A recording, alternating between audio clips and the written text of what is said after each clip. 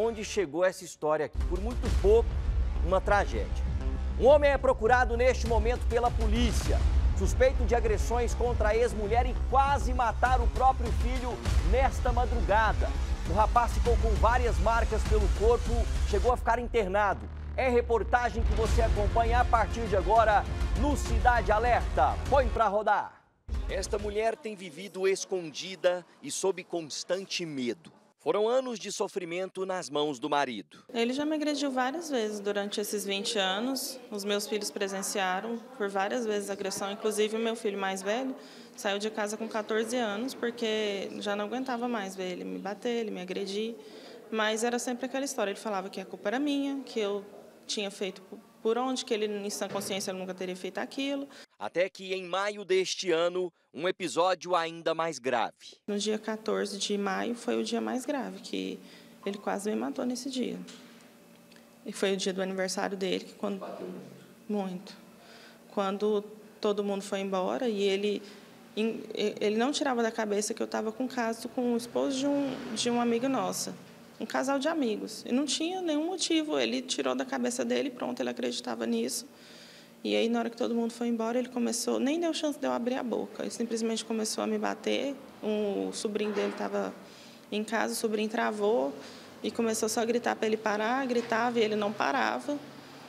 É, até que o meu sogro e a minha sogra voltou. Eles tinham saído há pouco tempo, então meu sobrinho ligou e eles retornaram.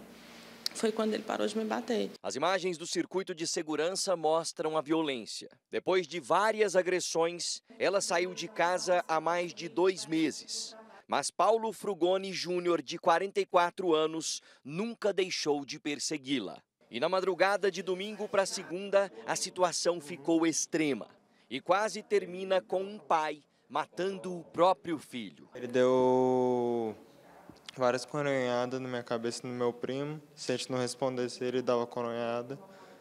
E aí ele foi e falou que ia matar meu primo se eu não dissesse. E aí ele foi e colocou um saco. Eu não lembro se foi um saco foi uma roupa, ele que cobriu a cabeça do meu primo e falou que ia arrancar a cabeça dele e entregar para mim se eu não contasse. E aí eu fiquei meio em desespero, né? E aí ele foi pegou meu celular e começou a ver as conversas minhas com a minha mãe no celular. E eu falando que não, que não precisava disso. Aí até que ele foi falou que ia matar meu primo, só que ele foi para a cozinha e deixou a arma em cima da cama que até onde eu achava que era de verdade, né? E aí eu consegui tirar a mão do enforca-gato e pegar a arma. E aí quando ele voltou, eu fui e tentei atirar nele, só que pelo que eu vi a arma era de brinquedo. E aí que foi começou o combate corpo a corpo, né? Só que aí ele tava com a faca e ele começou a me esfaquear enquanto a gente tava brigando. Um relacionamento de 20 anos marcado pelas agressões, pela violência doméstica. A Fernanda há mais ou menos aí dois meses e meio, decidiu pôr um ponto final nessa relação. Depois de muito apanhar, ser agredida, humilhada, ela finalmente conseguiu sair de casa. Ela conseguiu sair de casa, mas não teve mais paz a partir disso. O marido sempre a perseguindo, sempre procurando ali saber onde ela estava. Ela vive escondida, inclusive com a filha de apenas 11 anos, recebendo apoio aí de amigos, por um tempo ficou no abrigo, e ele solto, perseguindo, ameaçando. E aí na madrugada agora de domingo para segunda-feira, ele foi até a casa do filho do casal.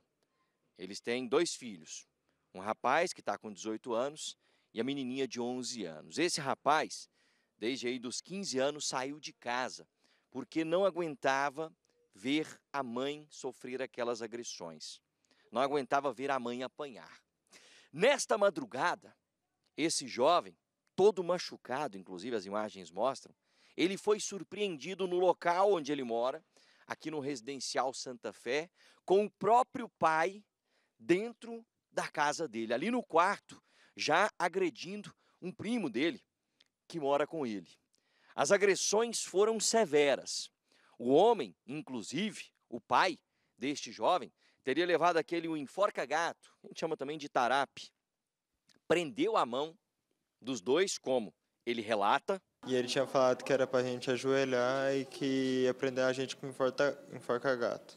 Aí ele fez eu prender meu primo e meu primo e depois ele foi e me prendeu com enforca-gato. E aí ele começou a falar que queria saber onde que minha mãe estava. E ele queria por tudo que o próprio filho entregasse o local onde a mãe estava, onde a Fernanda estava. O filho, já sabendo o que poderia acontecer, não entregou. Ele não entregou de forma nenhuma. E aí, depois de muita luta, eles conseguiram pedir ajuda a um vizinho. O vizinho pulou dentro da casa, no local ali, eles conseguiram conter o agressor, chamaram a polícia, mas não se sabe por que esse homem conseguiu fugir. Este homem não está preso no momento. Ele foi levado para o Hospital de Urgências de Goiânia, o Hugo. Enquanto o filho dele, todo esfaqueado, foi levado para o Hospital de Urgências Governador Otávio Lage, o UGOL, na região noroeste. O rapaz está totalmente traumatizado. Por muito pouco, ele não é morto pelo próprio pai. A mãe dele, a vítima, a Fernanda, recebe a ligação deste primo, deste parente, falando: Olha, vamos correr para o hospital, porque o homem aí teve aqui e, e quase que ele mata o Jonathan. A família está desesperada. Por muito pouco, uma tragédia não aconteceu. Esse jovem de 18 anos está muito machucado e a Fernanda, a vítima, tem medo de morrer e tem medo também de que esse homem faça mal a pessoas próximas dela. Eles temem que ele fique em liberdade. Se não fosse a misericórdia de Deus ter protegido, eu poderia estar enterrando meu filho. E se ele ficar solto, ele não vai parar até ele me matar. Porque foi isso que ele disse. Ele falou assim que a gente casou e é para sempre e vai ficar junto até que a morte separe. Atenção para a atualização, este homem acaba de ser preso. Pessoal, ele foi preso lá no Hugo, onde ele tinha sido internado também para tratar de uma fratura. Agora a polícia pode converter em preventiva ou não. A gente continua acompanhando.